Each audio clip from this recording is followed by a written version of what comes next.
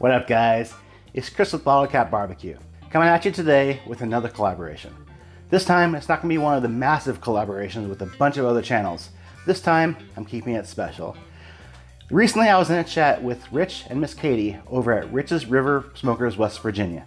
Say that five times fast, I had to concentrate. but just during the chat, uh, we started talking about collaborations and he, he mentioned, hey, if you wanna do something, just let me know. Well, I let him know, and the idea that we came up with was filet mignon. Hey, if you want to go check out Rich's River Smokers West Virginia, I'm gonna leave a link to his channel up above in the iCard. Not only does he have a great channel, but he recently started up a website to sell all of his products. And I know he has some other stuff in the works. So I'll leave a link to his website down below as well. It's richesriverbarbecue.com. So go check it out. But now let's get to this filet. As I was thinking about it, I know filet mignon is that staple in almost any steakhouse.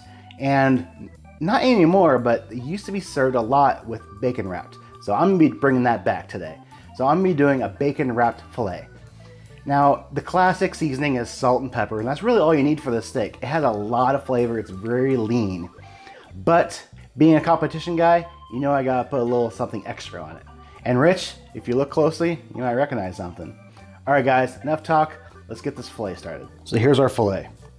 Now the reason why this stuff is so expensive in restaurants is this stuff is expensive. This stuff was about $20 a pound, so this is for special occasion, so you wanna treat this right. Now I have trimmed any fat that I saw, but this is a good piece of meat right here. So first thing we're gonna do is we're gonna get our bacon ready. So I got this Applewood smoked bacon. It's gonna be a nice compliment out there. We're gonna be cooking this over the grill, so we're not gonna be smoking it, so I wanna bring as much flavor as possible. Why I went ahead and got this the good smoked bacon. And depending on how your bacon looks, might change the way you wrap it. Like for instance, on mine, I have this huge section of fat, so I'm actually go ahead and chop it off right there. And you're gonna play with this depending on what kind of bacon you get. Basically, you just want a single piece going around the entire edge. And I got a really good thick cut filet. I mean, this thing is at least inch and a half thick. So I think two pieces of bacon is gonna do it. We're gonna bind the edge. So I don't have to worry about it falling off or anything. Just want to make sure we have the right size bacon. When you start. Yep. So two pieces would have done it. So this goes back in the package. Save for later. So you can see what I'm talking about. The, the bacon's going to cover the entire edge of the filet. Perfect. Okay, now we know how much bacon we need. Go ahead and lay it out. We're gonna start the flavors. If you've watched me at all, you know I layer the flavor all the time. First thing we're gonna do is we are going to get a little bit of oil on the bacon. It's gonna help it crisp up. And I'm using using pure olive oil. Has a medium to a low smoke point, so it's gonna help crisp up. The reason why we're using it is we are actually going to put some bacon on here. Or we're gonna put some, some pepper on here so it's like peppered bacon. Now you don't have to do this, just depends on, on your taste. But I like a good peppered bacon. Now we're gonna season our filet. As a binder, we're gonna use some Worcestershire sauce. Just a little bit, just a little binder. The Worcestershire sauce will give a nice little um, savory note in the end, but it's not gonna make a huge taste difference. It's just a binder. Now we're gonna add a couple different things. First thing we're gonna do is, hey Rich, check this out. This is Rich's River Dirt Sweet. And, I, am using the sweet um, just as a light layer right here. It has a great barbecue flavor and it's gonna give a nice small pop of sweetness. See, I didn't, didn't put too much on there. Like I said, this filet already has a lot of flavor in it. I'm not gonna overpower it with extras, just enough to make it stand out from the rest. Okay, now we're gonna come back with a top layer of Loot Booty Barbecue, What's Your Beef? This stuff is great on steak as a top layer. Good pepper note, Has thick chunks of spices. Just enough to make it pop. All right, now we're set to wrap. I have over here um, my butcher's twine in a little bowl. Pro tip, put it in a bowl so it doesn't roll away. We're gonna put our bacon around, kind of pull it tight so it holds on by itself initially. Also stretches it out and creates a, a tighter grip. There we go. Because we want this thing to be as tight of a, as a medallion as possible. All right, take your twine. That should be good enough. Don't be afraid to use more than you need. And we're going to go to, we're actually gonna do two, two wraps. So kind of wrap it around twice just to get a nice hold towards the bottom and just give a good pull. And when you wrap it around like that, it holds on tighter. So you can let go and hold, pull it, hold tight without it losing its grip. Okay. And one more. So, so you have it wrapped twice, pull, kind of snug it up. That's gonna hold. Give me time to tie it. There, you, there you have it. Twice. All right, we're gonna let this sit out on the counter. Um, I pulled it straight from the fridge, so we, we do want to we do want to bring, bring the temperature up a little bit. As my buddy Hobo found out, bringing up the room temperature is a cliche. It's just a figure of speech. Do not bring the thing up to room temperature. That means it's gonna be out for like nine hours. That's a big no-no. So it's just gonna be out enough time for us to get the grill started up. So I'm gonna cook on the on the Weber today. I'm gonna fill up a one chimney of charcoal, get it heated up, and we'll go out there and grill this thing up. All right, so we're ready to roll. I use one full chimney of charcoal, and I'm over, I have it all the way over there on that side. I have the bottom grates um, checked to about halfway to maybe three quarter way. It's about 500, 580. So I want anywhere from 550 to 600 degrees. So, all right, we're good to go. This is gonna be a kind of a fast cook, so here's what it looks like after after about half hour. It's been about half hour since we seasoned up. Sorry for the light, guys. All right, so we're doing two minutes per side. Get a timer ready. Ready? Here we go. Nice sizzle. Start timer. Two minutes per side. Close it up between. All right, we are right at two minutes. Now I said two minutes per side, I meant two minutes and then rotate. We want those nice hash marks. So over here, rotate 40 degrees and down. And close. Okay, two more minutes is up. We are going to flip now to the other side. So again, moving to the hot side, let's do a flip and press. All right, we're at two more minutes. We're gonna do an, our last rotate.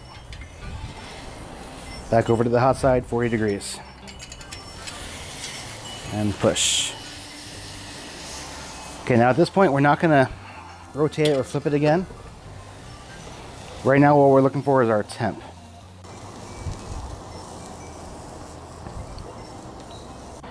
All right, we're at nine minutes total.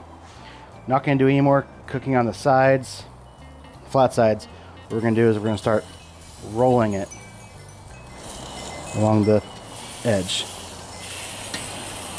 About 30 seconds each roll.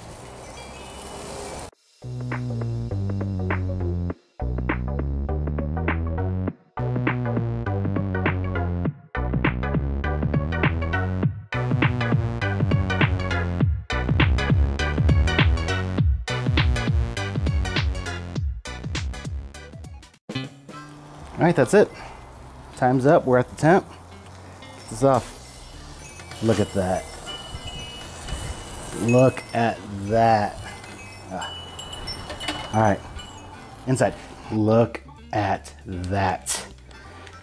Oh, all right, so we're gonna let it rest and actually have some compound butter here. Do one dab right on top. So as it rests, that butter's gonna go all over it. All right, this thing's been resting for about five minutes.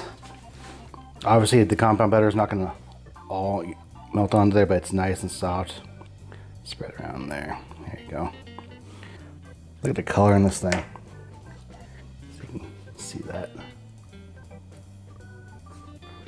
you go. The bacon on there. Nice and rendered. This thing is beautiful all around. Gonna be a nice medium rare. Let's go right down the middle. We're gonna cut right through the string. There we go. Cutting right through the string. That's that's us the steak. That's the string I'm cutting through. All right, you ready? Ready for this? Here.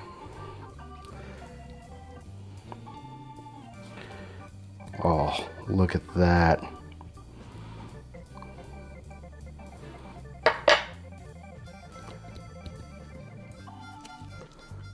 Tender it is. Good medium rare. Good medium rare. All right. let's get that string off. So obviously when you're doing this, go ahead and get that string off first. I actually have scissors right here. I just got too excited. See if you guys can, can see that. Nice little piece here with the bacon. See how it's staying on there? There you go. Bacon. Oh. If you can see the color on that. Sorry guys, still haven't figured out this lighting situation. I'm working on it, I promise I'm working on it. There you go. That. Well, Man. I'm sorry. Did you guys want to see this? Oh my god, it's so good. Alright.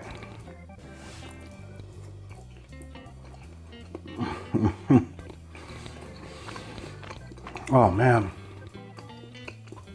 I don't know if you guys can hear it. There's a crunch. It's that edge of the bacon that's crispy. Oh, so good. All right, so I don't know if you guys have seen a lot of my videos. I always do a taste test, just like everybody else does. But this is kind of out of the ordinary. Um, the lighting is horrible. Sorry, guys. I'm not in the right spot. I'm kind of flustered. I just want to eat this thing. I am that excited about it. This was a, oh my god, successful cook. Overall time was about 15 minutes. So if you have about 15 minutes to spare, do it. And there's a reason why the filet is so expensive at the restaurants. It is so freaking tender. Man, I, I'm just, I'm, overwhelmed. I honestly am overwhelmed just how good the filet is.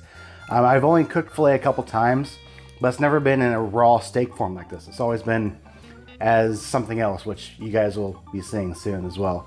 But uh, guys, give it a try. Rich, thank you very much for doing this collaboration with me. I really appreciate it, man guys, go check out Rich. I'll have his link up here.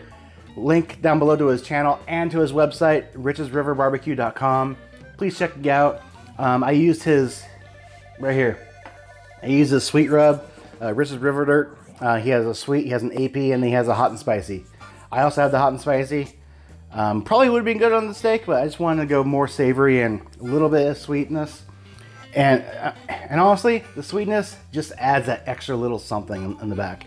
It's not like, oh my God, sweet. It's, I mean, you can tell it's there, but it's not like, it's not like sweet. It's, it, it, it complements the savory very well. So Rich, thank you very much for doing the collaboration with me. Um, hope you enjoyed it. I'm gonna be checking out your video as well. So guys, again, please go check out Rich over at richesriverbarbecue.com and Miss Katie as well, his wife. I actually got this picture from her. She does her own artwork like that, but basically photography. He has a, a, a website on Facebook. It's Kat's Krazy Kreations. That's where I got this. She hooked me up with this. Um, I love it. So, Katie, thank you.